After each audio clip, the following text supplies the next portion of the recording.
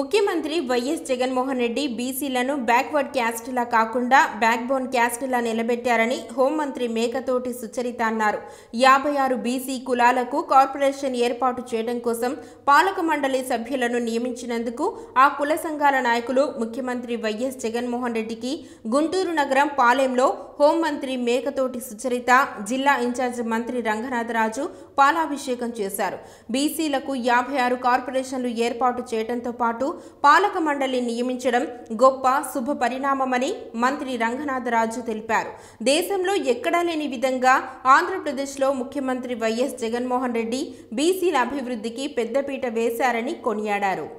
చెప్పిన విధంగా ఈరోజు నూట ముప్పై తొమ్మిది కులాలకు సంబంధించి యాభై ఆరు కార్పొరేషన్లు ఏర్పాటు చేసి మరి ఇప్పటికే బీసీలకు సంబంధించి దాదాపు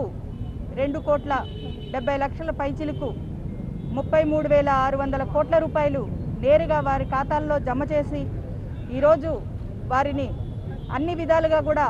సమాజంలో ఉన్నతంగా నిలబెట్టడానికి గౌరవ ముఖ్యమంత్రి గారు చేస్తున్నటువంటి కృషి ఈరోజు దేశానికే కూడా ఆదర్శనీయంగా చెప్పుకోవచ్చు. గౌరవ ముఖ్యమంత్రి గారు ఏదైతే మనం గతంలో చూసాం బీసీలకు పదివేల కోట్ల రూపాయలు కేటాయిస్తామని చెప్పి అరకొర నిధులతో ఎప్పుడూ కూడా వాళ్ళ అభివృద్ధికి కష్టపడలేదు. ఎప్పుడూ కూడా బీసీలంటే ఓటు బ్యాంకుగానే చూశారు తప్ప వాళ్ళని ఏ విధంగా అభివృద్ధి చెందించాలి వాళ్ళ యొక్క స్థితిగతులు ఏ విధంగా మార్చాలి అన్నది ఎప్పుడూ కూడా ఆలోచించినటువంటి పరిస్థితి లేదు. కానీ గౌరవ ముఖ్యమంత్రి గారు ఈరోజు అన్ని వర్గాల ప్రజలకు సంబంధించినటువంటి సమస్యలు ఏమిటి? వాళ్ళను ఎస్సీ ఎస్టీ బీసీ మైనారిటీలను ఏ విధంగా అభివృద్ధిలో పదంలోకి తీసుకురావాలి అని చెప్పి అన్నిటికీ కమిటీలను ఏర్పాటు చేసి అధ్యయన కమిటీ ద్వారా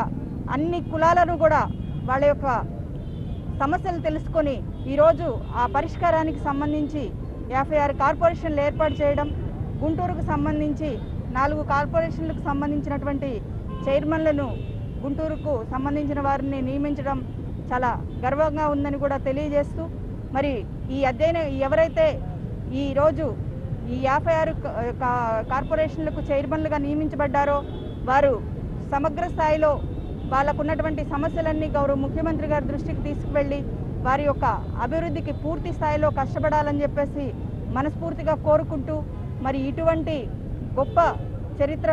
మళ్ళీ మనం తిరిగి చూడబోమని కూడా తెలియజేస్తూ